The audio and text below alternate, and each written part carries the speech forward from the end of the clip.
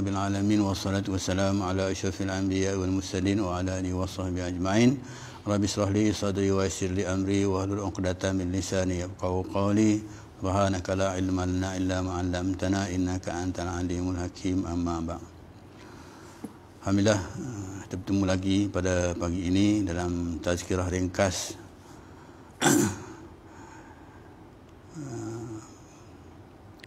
Firman Allah Subhanahu wa taala Ud'uni fastajib lakum.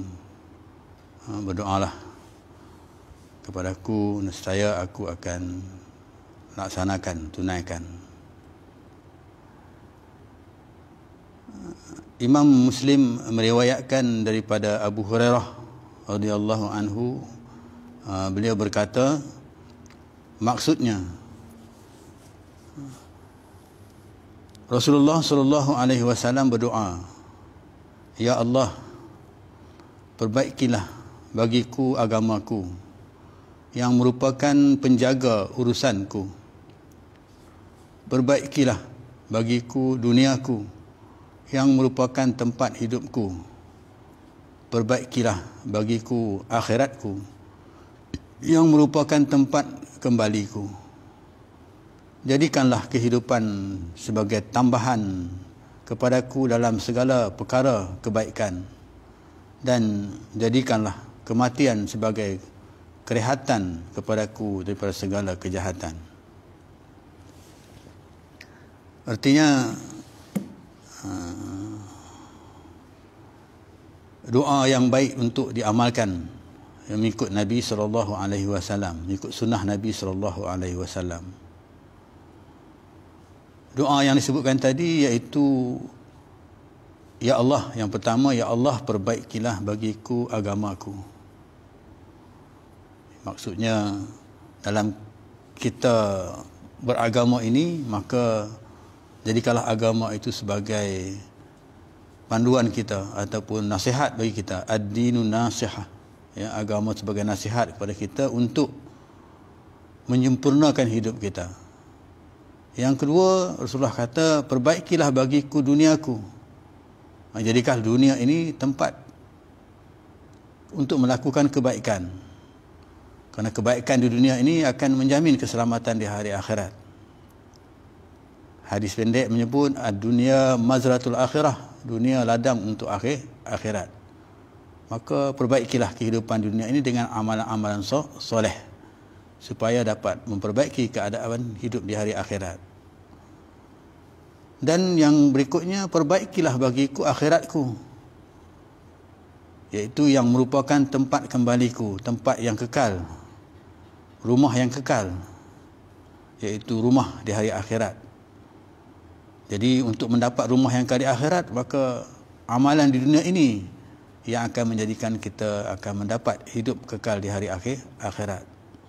Dan seterusnya jadikanlah kehidupan Ha, jadikanlah kehidupan sebagai tambahan kepadaku dalam segala perkara kebaikan.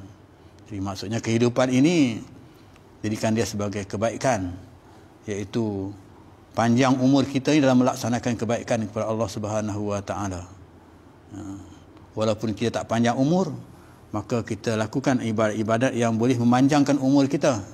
Seperti mana ibadat yang disebutkan apabila kita mati maka amalan kita akan terus berjalan. Ini juga bermakna ibadat kita mana kata umur kita panjang. Seperti kita bersedekah. Maksudnya bila kita dah mati sedekah itu pahala itu berjalan. Maka kita beribadat. Seolah-olah kita hidup juga.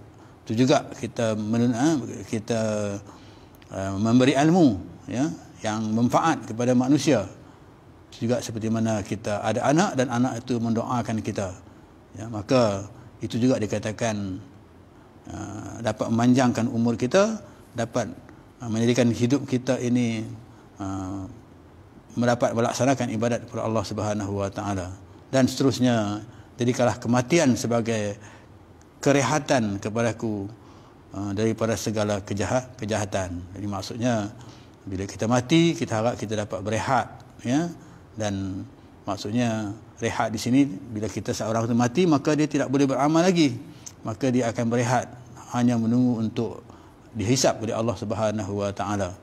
Dan uh, jadikanlah ya uh, amalan yang kita lakukan di dunia ini sebagai kerehatan di dunia di hari akhirat ya. Seperti mana uh, rehatnya kita dalam kubur itu seperti mana disebutkan iaitu seperti mana tidurnya seorang pengantin ya. Jadi ya, kita di, dibaringkan ditidurkan oleh Allah Subhanahu wa taala dalam keadaan yang rehat.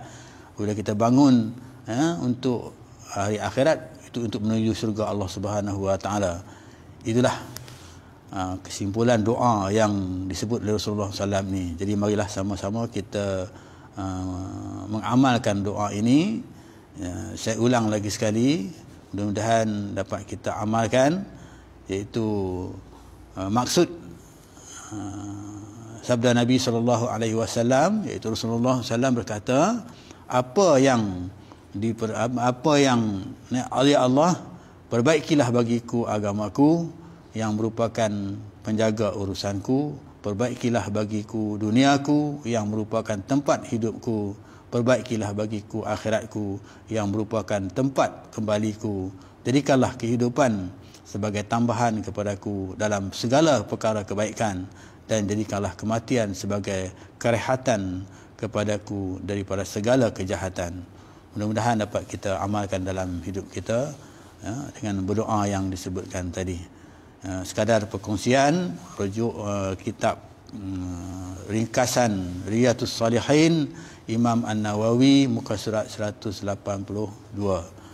Jadi itulah yang dapat disampaikan pada pagi ini. Mudah-mudahan ia dapat memberi manfaat kepada kita.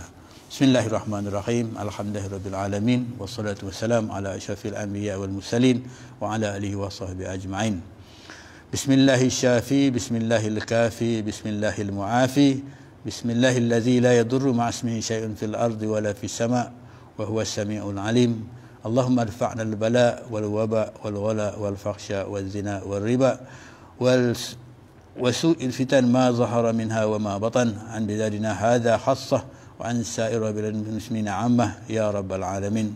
ربنا آتنا في الدنيا حسنة وفي الآخرة حسنة وقنا عذاب النار. والحمد لله رب العالمين.